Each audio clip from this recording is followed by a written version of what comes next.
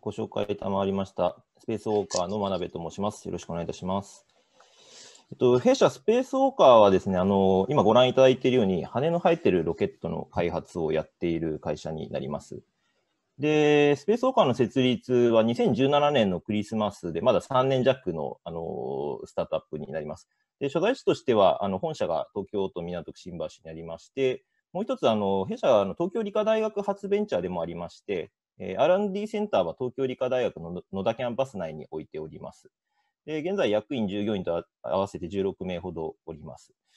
で我々のビジョンとしましては、まあ、誰もが飛行機に乗るように自由に宇宙を行き来する未来を実現しますということで、2029年には、あの、ここの日本からですね、あの有人宇宙飛行ができる、まあ、そういう機体開発を進めているところです。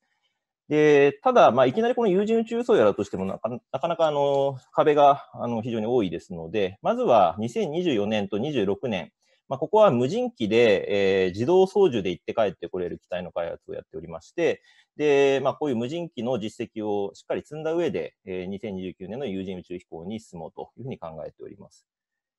で、ちょっとあの宇宙のマーケットの話は先ほどあの経産省のあの是永様からありましたので、ちょっと割愛させていただきますが、まあ、本当にここ数年ですね、宇宙産業があのかなりあの広がってきてるかなというふうに感じております。ただ、やはりあの一般の方々にまだまだこう宇宙って身近身近になってないなというふうに思っておりまして、でその一つボトルネックになっているのが、まあ、やはり宇宙へのアクセスが容易ではないというところかなと考えております。で、なぜこの宇宙へのアクセスが容易でないかと言いますと、現在、あの世界中のあの、まあ、宇宙へのアクセス手段でロケットのほとんどが使い捨てであるというのが現状です。で、この使い捨てロケットのままだとですね、3つの課題があると考えておりまして、まあ、1つは宇宙あの打ち上げ費用が高いと。で、もう1つは打ち上げ頻度が低い。で、3つ目に環境問題と。こういう3つの課題が、あの、使い捨てロケットの場合はあるかなというふうに考えております。で、具体的にいきますと、まず衛星打ち上げを想定したときに、この4象限に分解した図になります。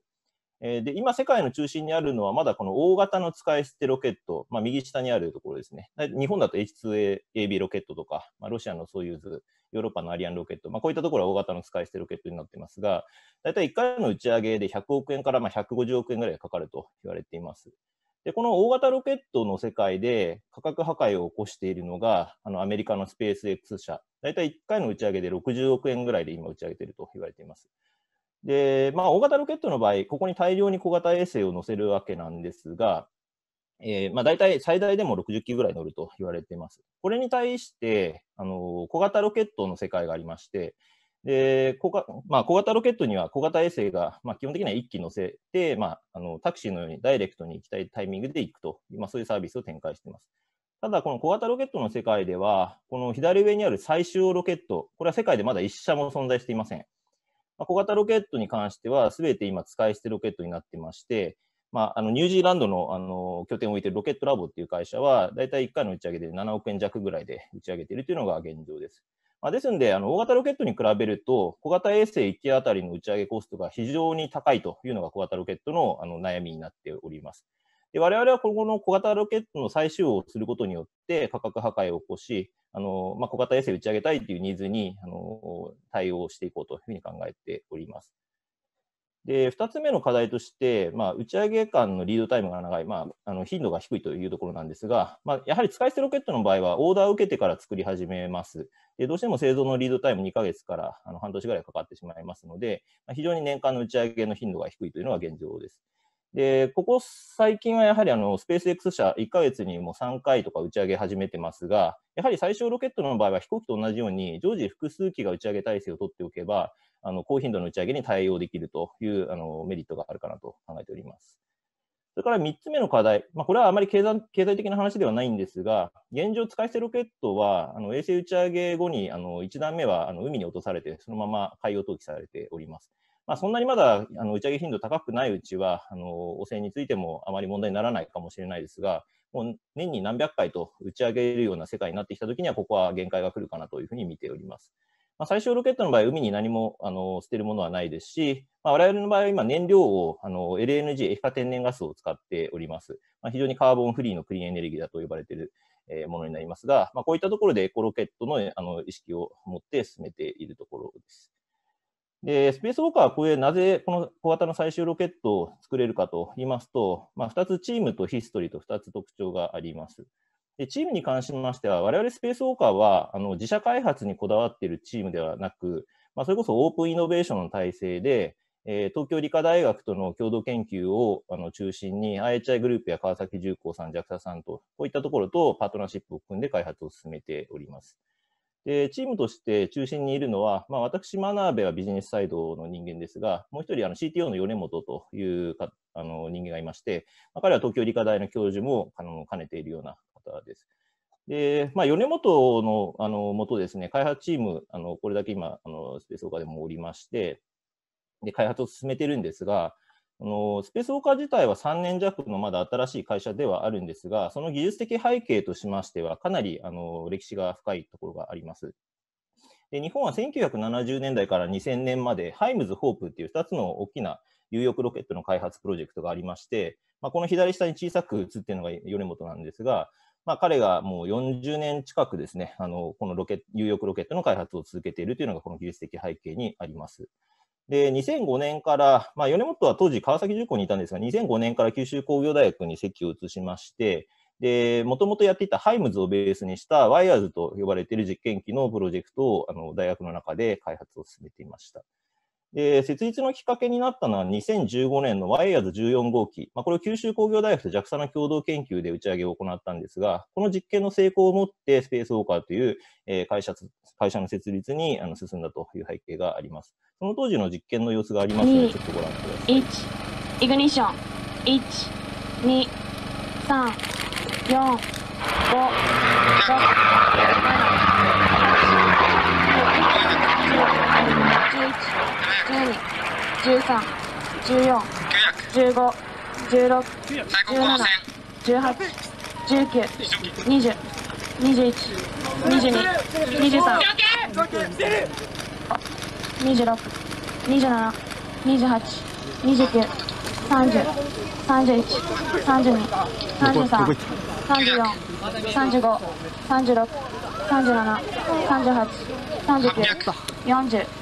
47、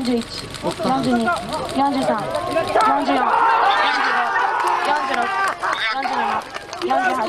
49、50。はい。えっと、あ、失礼しました。で、今このワイヤーズ14号機の後、最後の実証機、ワイヤーズ15号機というものを作っているのと同時に、えー、2024年の最初の商用機の基本設計を進めております。でこのワイヤーズ15号機の方は JAXA が開発している LNG エンジン、あの3トン級のものを飛行実験するという目的と、あと、まあ、自動操縦のための誘導制御システムを試すという2つの大きな目的があります。で基本あ、こちらの方は詳細設計まで完了しておりまして、えー、再来年の冬にあのスウェーデンのキルナっていうところで、えー、打ち上げ実験を予定しています。で、その手前で来年には予備試験としまして、ヘリコプター、まだエンジンを搭載する前にヘリコプターで、え、こういう後方誘導制御系の試験と、あの実際に上から落としてみて、パラシュートの解散試験というのをやろうとしております。で、商用機の方に関しては基本設計が今完了、ほぼほぼ完了しておりまして、まあ、来年、あの、年明けからですね、詳細設計の方に進んでいくというフェーズになっております。